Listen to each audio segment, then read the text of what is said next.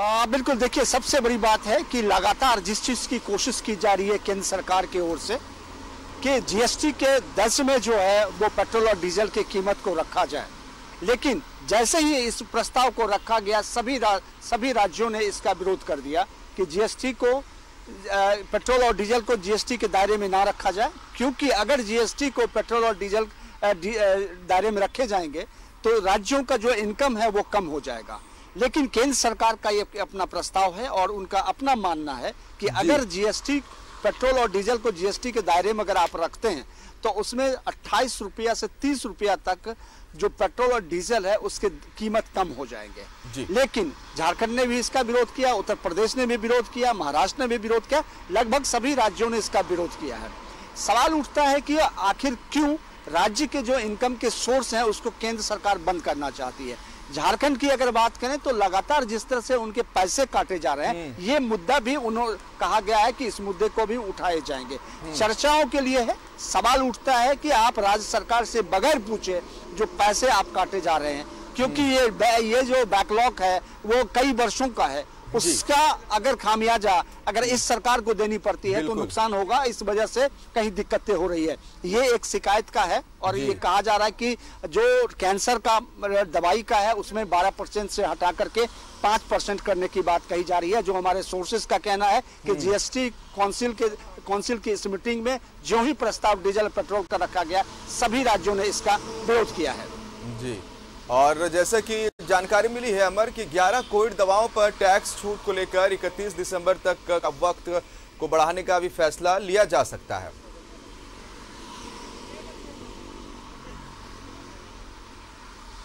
हाँ बिल्कुल। देखिए, कोविड में जो भी दवाएँ दी जाती हैं और खास करके अगर इससे फ़ायदा जो इस दवाइयों से हो रहा है कहा यह जा रहा है कि इस पर जो टैक्स कम किया जाए उसको टैक्स कम कर दिए जाएँगे। इससे पहले भी केंद्र सरकार ने इस बात की सूचना जारी की थी। उसके स्वास्थ्य मंत्रालय ने कहा था कि तकरीबन चार सौ तीन सौ निन्यानवे ऐसे दवाई हैं जिसको उस श्रेणी में रखे गए जिस पर टैक्स नहीं लगाए जाएँगे। चाहे वो कैंसर हो चाहे वायरल हो चाहे कोविड के लिए जो यूज़ किया गया है उसको लेकर के है। और जो 46 ऐसे दवाई हैं जिसको बाहर किया गया और उनचालीस को उन्होंने ऐड भी किया है। तो ये एक बड़ा मामला है क्योंकि सरकार को इसके लिए कंपनी को जो कंपनी बनाती है उसको पैसे देने पड़ेंगे। और आपको या फिर जनता को वो कम टैक्स में बेचेगी जिस पे सरकार जो है अपना टैक्स उसमें जमा करेगी। लेकिन लगातार जो। ये कोशिशें की जा रही है कि ये पैंतालीसवां बैठक है और जीएसटी को लेकर के अब तक कुछ क्लियर नहीं हो पा रहा है। राज्य सरकार को जो घाटा हो जा रहा है इस पर भी चर्चा की जा रही है। कहा जा। रहा है कि राज्य सरकार को किस तरह से पैसे दिए जाए जो उनको घाटा ना हो उनको नुकसान ना हो। तो इस पर भी चर्चा होगी। झारखंड भी इस मुद्दा को उठा रही है। उनको भी लगता है कि जो राज्य सरकार के हिस्से के जो पैसे होने चाहिए उनको मिलने चाहिए। और आज बादल पत्रलेख को इसलिए भेजा गया है कि आ, उनको सारे जो सिचुएशंस है उसको देखते हुए और सारी स्थिति को अवगत कराते हुए उन्हें भेजा गया है कि आप इसका नेतृत्व करते हैं राज्य का। और जो। समस्याएँ हैं उस समस्याओं से निपटने के लिए आप इसका उपाय बतावे और केंद्र सरकार को अपनी राय जो है रख दें ताकि केंद्र सरकार हमारे ऊपर विचार करे। चलिए तो अब देखने वाली बात होगी कि जीएसटी की 45वीं इस बैठक में क्या कुछ निष्कर्ष निकल पाता है। आप बने रहिएगा हमारे साथ, अमर। अब तमाम जानकारी आपसे हम लेंगे, लेकिन फ़िलहाल आपका बहुत बहुत शुक्रिया।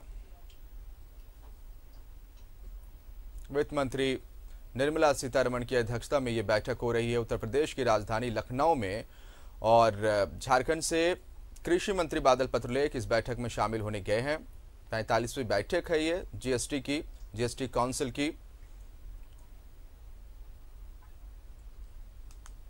कई मुद्दों पर इस बैठक में चर्चा हो सकती है।